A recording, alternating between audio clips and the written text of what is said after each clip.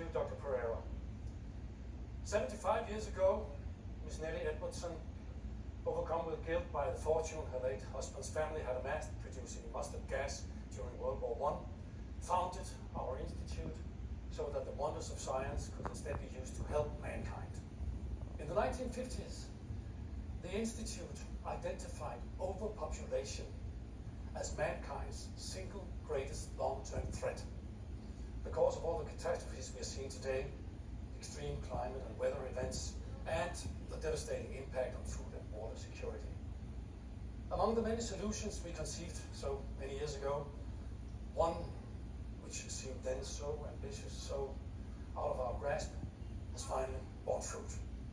And today we're proud to unveil what we fervently believe to be the only practical, humane, and inclusive remedy to humanity's greatest problem. My colleague, Dr. Jørgen Asbjørnsen, will now present his findings. Are you ready, Doctor? Yes, I'm ready.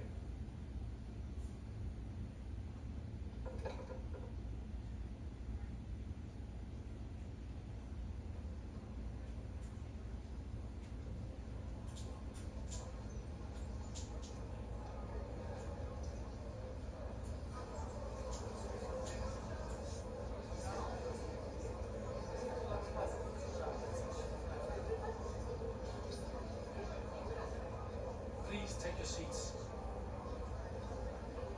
Please sit down, ladies and gentlemen, please. Please take your seats, ladies and gentlemen. Thank you very much. Thank you. Thank you, thank you.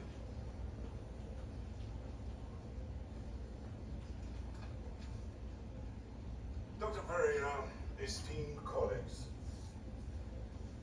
Five years ago, building on the research of our predecessors at the Institute, my team and I discovered a process by which all organic material can be reduced at the cellular level by a ratio of approximately 2,744 to 1.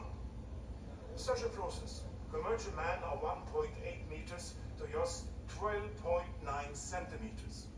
A wide array of flora and fauna were subjected in this process and with the exception of some fish and shellfish, absolutely no side effects were detected. Please, lights.